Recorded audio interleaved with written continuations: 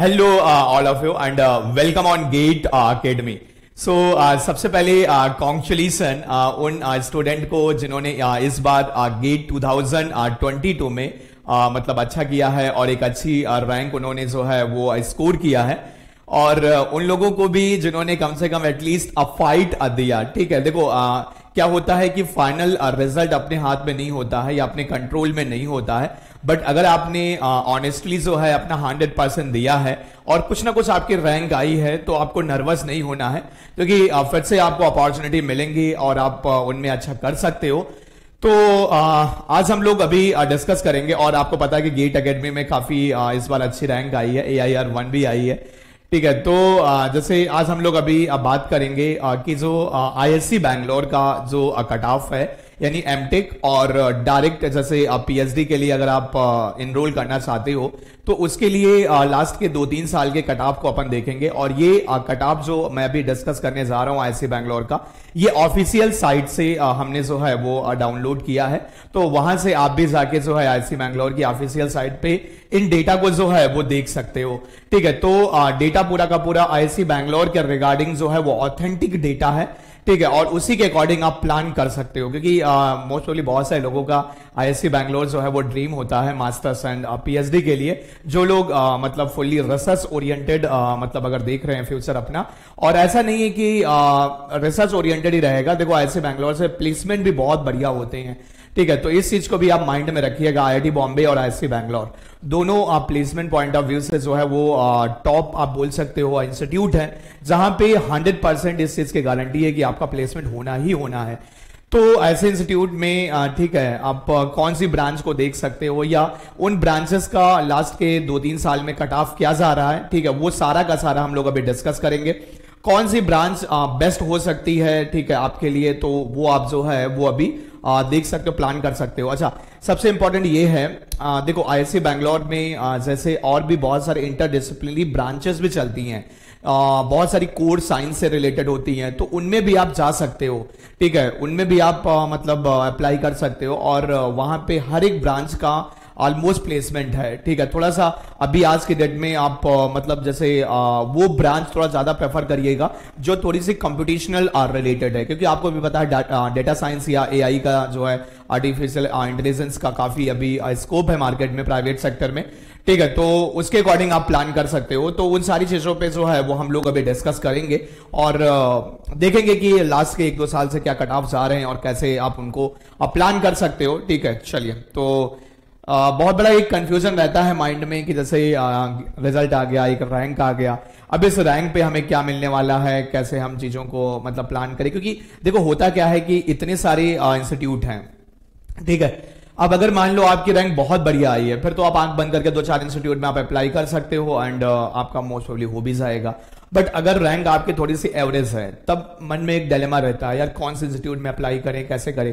अब ऐसा भी नहीं है कि जितने भी आई आई टी आप सब जगह अप्लाई कर दोगे तो तीस पैंतीस तो ये फिजिबल नहीं है, ठीक है? एक तो फिनेंशियली बर्डन आएगा, उसके बाद फिर इतने सारे आई आई में आप फिजिकली जा नहीं पाओगे। तो एक मन में बहुत बड़ा डाउट रहता है, यार कौन सी आई आई टी में करें और कैसे करें, जिससे मतलब थोड़ा फ्यूचर जो है वो सिक्योर हो जाए, उतना ज़्यादा मतलब वो ना रहे। ठीक है? चलिए। तो ये मेरा छोटा सा इंट्रोडक्शन है, आप एक बार देख लीजिएगा, ये इंपॉर्टेंट नहीं है। तो एक बार हम लोग डिस्कस करते हैं कि कैसे होगा। Just give me one minute ठीक है? एक बार अपन देखते हैं कि कैसे अपन प्लान कर सकते हैं। तो मैं ओपन करता हूँ, जो ऑफिशियल डेटा है। तो सबसे पहले जो है डायरेक्ट एमटेक 2021 ठीक है? डायरेक्ट एमटेक 2021 अपन देखते हैं पहले।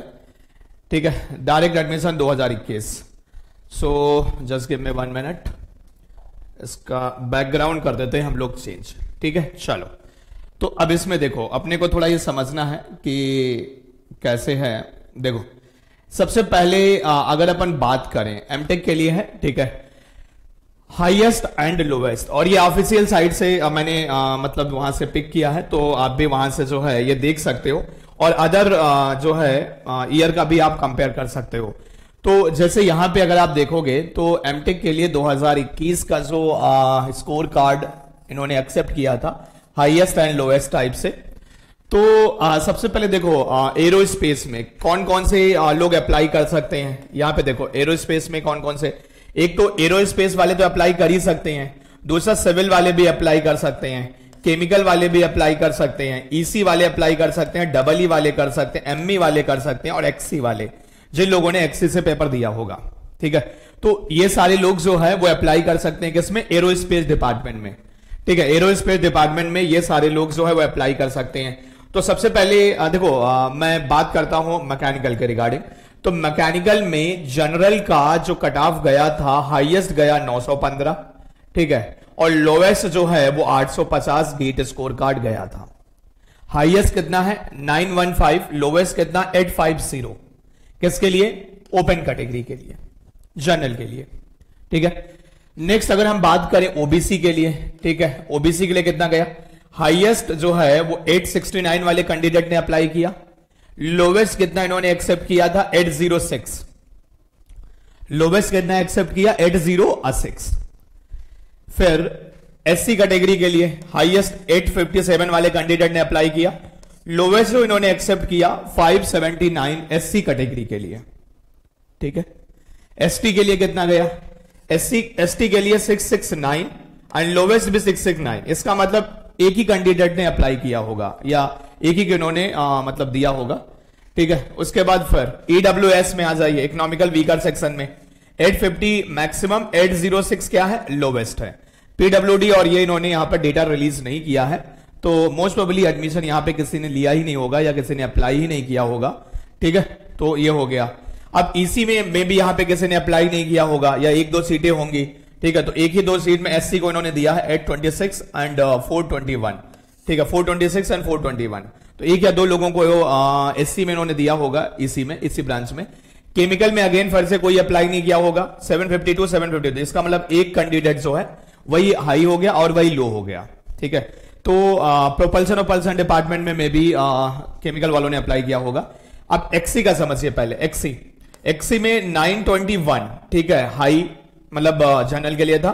एंड लोवेस्ट था 878 878 ठीक है? एट थर्टी फाइव ओबीसी के लिए था, ठीक है highest and eight zero one था लोवेस्ट ठीक है? सिक्स फिफ्टी नाइन था हाईएस्ट एससी के लिए. फाइव एट्टी फोर था क्या? एस टी लोवेस्ट आया एससी के लिए. एसटी में किसी ने अप्लाई नहीं किया एक्सी से? ईडब्ल्यूएस e में 848 एंड 848 इसका मतलब एक सीट ईडब्ल्यूएस e को इन्होंने दी थी, एक कैंडिडेट को इन्होंने सेलेक्ट किया था. ठीक है जिस जितने पे ओपन हुआ, उतने पे इन्होंने क्लोज कर दिया तो एक ही कैंडिडेट को इन्होंने यहाँ पे दिया। अगेन फिर से पीडब्ल्यू और ये सब किसी ने किया ही नहीं होगा। ठीक है, अब उसके बाद बात आती केमिकल में। केमिकल में देखो जर्नल के लिए नाइन फिफ्टी टू पे इन्होंने ओपन किया सेवन ट्वेंटी फाइव पे इन्होंने क्लोज कर दिया सिविल के लिए। एमटेक की बात हो रही है एमटेक की बात हो रही है। ठीक है, यहाँ पे स्पेशलाइजेशन नहीं होता है। फिर से देखो अदर आईआईटीज एनआईटीज में क्या होता है? स्पेशलाइजेशन होती है। जैसे मैकेनिकल में थर्मल हो गया प्रोडक्शन हो गया, ठीक है डिज़ाइन हो गई, या अदर हो गए। यहाँ पे ऐसा नहीं है। सिविल में ट्रांसपोर्टेशन हो गया स्ट्रक्चर हो गया जियोटेक हो गया तो ये होता है। कहाँ पे? आईआईटीज में। आईएससी में कॉमन एमटेक चलता है बस। ठीक है, सारे सब्जेक्ट आपको पढ़ने होते हैं। फिर उसके बाद 716 पे ये जो है ओबीसी में इन्होंने दिया। एंड 562 700 ये एससी के लिए and 490 minimum 633 is ST highest and 414 lowest ठीक है, फिर ईडब्ल्यूएस के 712 एंड 511 यहाँ पे फिर से कोई हैंडीकैप्ड और ऐसा कैटेगरी वाला नहीं मिला होगा तो उसने अप्लाई नहीं किया। केमिकल के लिए 958 इज़ हाईएस्ट क्लियर 710 लोवेस्ट ये जनरल के लिए हो जाएगा। 706 जो है, ये ओबीसी के लिए हाईएस्ट था। 406 ये लोवेस्ट था, काफ़ी कम है। ठीक है 686 ये आपका एससी के लिए था। एंड 410 जो है वो एससी के लिए. 601 जो है एसटी के लिए एंड 398 मतलब लोवेस्ट हो गया एसटी के लिए. 706 ईडब्ल्यूएस के लिए हाईएस्ट है एंड 564 लोवेस्ट यहाँ पे देखो एक पीडब्ल्यूडी वाला कैंडिडेट एक दो आ गए. 694 एंड 560 ये आपका हाईएस्ट एंड लोवेस्ट हो गया पीडब्ल्यूडी कैटेगरी में. ठीक है. अपने को देखना है मैकेनिकल वाले में वालों में क्या गया था. तो मैकेनिकल वालों में अपन देखते हैं. ठीक है. मेनली मैकेनिकल के लिए अपने को समझना है यहाँ पे. अब देखो मैकेनिकल में मैकेनिकल में 969 एमटेक के लिए हाईएस्ट गया था जनरल कैटेगरी में। 969 अब आप आइडिया लगा सकते हो। 854 लोवेस्ट इन्होंने जो दिया है ऑफ़र जनरल में 854 ओबीसी में 854 is a highest and 789 is a lowest जो एडमिशन इन्होंने दिया। ठीक है? एससी के लिए 823 is a highest 759 is the lowest ST के लिए 792 is a highest 440 is a lowest ठीक है, ये जो इन्होंने कॉल किया। ईडब्ल्यू e में 854 ये हाईएस्ट गया 819 जो है, वो लोवेस्ट गया। पीडब्ल्यूडी में 727 727 यानी एक ही सीट रही होगी पीडब्ल्यूडी में क्लियर जो इन्होंने अडॉप्ट की मतलब दी यहाँ पर। उसके बाद आई एन वाले अगर कोई हैं और डबल ई वाले हो तो वो अपना देख सकते हैं बट ये अपना डोमेन नहीं है। तो यहाँ पे आप एक चीज़ थोड़ा सा देख सकते हो कि मैकेनिकल वालों के लिए ठीक ठाक मतलब गया है कट ऑफ़ ठीक है जैसे आ, कोई चैनल कैटेगरी का होगा तो ये जैसे हाईएस्ट गया। ठीक है अब मान लो कुछ आप बोलोगे सर ये तो मतलब 969 आप मान के चलिए कि अंडर 20 या अंडर 15 के आसपास इसकी रैंक रही होगी 15 या 20 के आसपास इसकी रैंक रही होगी। ठीक है अब उस साल का कट ऑफ़ कितना मतलब गेट स्कोर कार्ड रैंक के अकॉर्डिंग कितना था तो एक्सैक्ट तो मैं नहीं बोल पाऊँगा। ठीक है क्योंकि इस साल का तो आइडिया थोड़ा बहुत लग रहा है कि क्या है क्योंकि बहुत सारा अभी मतलब रिसेंट में है। ठीक है बट हाई है। 854 देखिए जहाँ पर ये क्लोज हुआ है वहीं से ये स्टार्ट हुआ ऑलमोस्ट ठीक है एंड सेवन सिक्स नाइन ये लोवेस्ट था। ठीक है और इसके लिए 823 एंड सेवन नाइन सेवन तो मतलब ऐसा नहीं है कि इजिली आपको ये जल्दी मिल जाएगा। ठीक ठाक मतलब रैंक uh, पे मिलेगा आपको। और आप मान के चलिए कि जर्नल में अंडर 50 रैंक ठीक है? जर्नल में अंडर 50 रैंक आप रख लीजिए। ओबीसी में आप अंडर 100 रैंक रख लीजिए A I R hundred rank के अंदर, ठीक है? एससी एंड एसटी में आप एससी में आप मान लीजिए कि 500 के आसपास, और एसटी में दो दो तीन सौ रैंक और आप वेरिएशन ले लीजिए 700 के नियर अबाउट आप बोल सकते हो। आपको ये मिल जाएगा, ठीक है? आई बैंगलोर तो ये जो है वो लास्ट ईयर का एक है दो 2021 का। ऐसे ही डेटा जो है वो 2020 का भी है ठीक है लेकिन वो पढ़ने से कोई फ़ायदा नहीं आप ऑफिशियल साइट पे एक बार जाके उनका देख सकते हो ठीक है पहली चीज़ ठीक है आ, दिखाने को मैं दिखा दूँगा वो भी अपलोडेड था बट यहाँ पे मिल नहीं रहा तो आप वहाँ से डायरेक्ट ले सकते हो। मुझे एक चीज़ आपको ये दिखाना था कट ऑफ़ दो हज़ार एमटेक एम डैश के हैं ये direct MTech admission GATE score का डायरेक्ट एडमिशन 2020 अच्छा ठीक है, चलो। 20 का भी मिल गया है तो ये भी एक बार देख लेते हैं। 20 एमटेक का एमटेक का मिल गया है तो मैं डिस्कस कर देता हूँ मैकेनिकल के लिए। देखो मैकेनिकल वालों को एरोस्पेस में अगर आप देखोगे तो 943 पे हाई गया है एंड 989 लोवेस्ट है। क्लियर 20 में 20 में हमको लगता है ज़्यादा गया है। ठीक है 20 में हाई गेट स्कोर कार्ड गया है, क्योंकि आपको पता भी था पेंडेमिक था तो पब्लिक सेक्टर रिक्रूटमेंट हो नहीं रहा था। तो मैक्सिमम लोगों ने जो है for factor of safety apply किया होगा तो थोड़ा हाई गया है। Clear nine eight ninety five उसके बाद ओबीसी के लिए eight thirty six is highest ठीक है हाइएस्ट वाला जो बच्चा था, और एट ट्वेंटी थ्री जो है, ये लोवेस्ट वाला जो कैंडिडेट जिसने अप्लाई किया होगा। एससी के लिए जो है एससी के लिए एट ज़ीरो सिक्स ये हाइएस्ट गई। सेवन ट्वेंटी फाइव लोवेस्ट तक जो है एससी में ये मिला। कौन? एरोस्पेस कौन सी ब्रांच के लिए मैं बात कर रहा हूँ? मैकेनिकल के लिए। एसटी में eight six fifty nine is highest and six forty six is the EWS के लिए 840 हाईएस्ट गया था और 840 से लोवेस्ट था। इसका मतलब एक सीट रही होगी तो एक ही कैंडिडेट को इन्होंने लिया था। तो वही हाईएस्ट हो गया एंड लोवेस्ट हो गया। ठीक है सिविल वाले अपना आप देख सकते हो एरो आ, मतलब कितना गया है। सिविल के लिए जो है 2020 में जनरल के लिए 916 हाईएस्ट और 778 जो है वो लोएस्ट। मैकेनिकल वालों के लिए ओबीसी में सॉरी मैकेनिकल सिविल वालों के लिए 817 ओबीसी और सात सौ सात लोवेस्ट गया। ठीक है, फिर एससी के लिए 810 मैक्सिमम एंड 630 मिनिमम। एसटी के लिए 813 मैक्सिमम 608 मिनिमम। ईडब्ल्यूएस के लिए 813 मैक्सिमम 745 मिनिमम और एक पीडब्ल्यूडी मतलब एक या दो जो भी रहे होंगे। ठीक है? क्योंकि रेंज है तो ऑब्वियस सी बात एक से ज़्यादा था। चलिए मैकेनिकल वालों के लिए थोड़ा सा अपन देख लेते हैं। तो मैकेनिकल वालों के लिए कहा गया? हाँ ये लास्ट में है। 2020 में नौ ये जर्नल के लिए मैक्सिमम था। आठ सौ उनहत्तर एट सिक्सटी नाइन यह मिनिमम था। ठीक है? एट एट्टी फोर ओबीसी के लिए मैक्सिमम आठ चौबीस जो है यह मिनिमम एससी के लिए eight fifty two maximum six eighty eight जो है यह मिनिमम गया।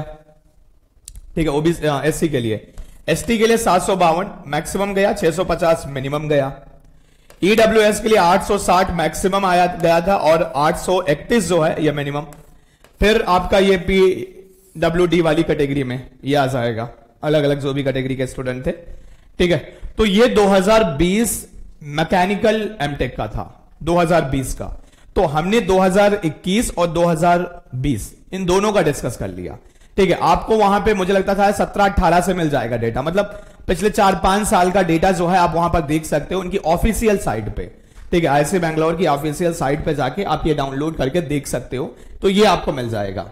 ठीक है, अब दूसरा देखो कुछ लोग ये देख रहे होंगे कि रैंक थोड़ी सी मे भी उनकी अच्छी ना हो तो इंटीग्रेटेड कोर्स अगर आप वो प्लान करना चाह रहे हैं इंटीग्रेटेड ठीक है तो इंटीग्रेटेड में क्या कहानी रहने वाली है? तो इंटीग्रेटेड में देखो ये आईएससी बैंगलोर ने जो है। ऑफिशियल रिलीज़ दिया था चार मई 2021 को। ठीक है क्योंकि बहुत सारा बच्चा सोच, सोचता है जिसको फर्दर रिसर्च करनी है। ठीक है और पीएचडी करना है। तो वो सोचता है cut off for JAM exam नहीं नहीं जैम वाला तो नहीं चाहिए। एक मिनट जरा। हमें तो पीएचडी वाला चाहिए। M tech P H D integrated P H D दो हज़ार बीस कट ऑफ़ एक minute just give me one minute physical science अच्छा ये गलत गलत पीडीएफ जो है, वो डाउनलोड हो गई है। तो आप ऑफिशियल साइट से जाके ये देख लेंगे, ये डेटा वहाँ पे पड़ा हुआ है, इसमें देख लेते हैं जरा। जैम वाले में तो नहीं होगा, मुझे लगता शायद। नहीं है, यहाँ नहीं है।